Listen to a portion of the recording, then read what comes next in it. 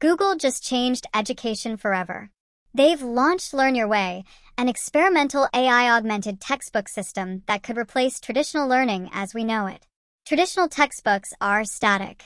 They're one size fits all PDFs that don't adapt to your grade level, learning pace, or personal interests. But Learn Your Way changes that.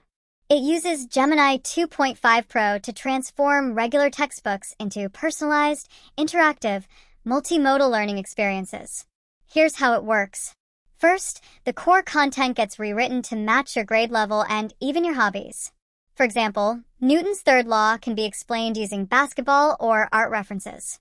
Second, the system generates class-like slides with AI narration, just like a real lecture.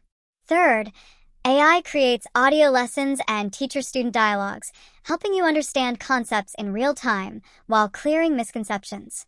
Fourth, content is transformed into interactive mind maps so you can zoom in and out of key concepts. Fifth, events or processes are turned into visual timelines and AI-generated memory aids, making them easier to recall. Finally, visual illustrations are customized to your personal interests. For example, economics can be explained with soccer transfer markets. And that's not all. The system includes practice quizzes and embedded questions inside the text itself, turning reading into an active learning experience. Immediate feedback helps you identify gaps before moving on. But does it actually work? In a randomized controlled study with 60 high school students, those who used Learn Your Way scored 77% versus 64% on immediate assessments compared to students using a digital PDF reader.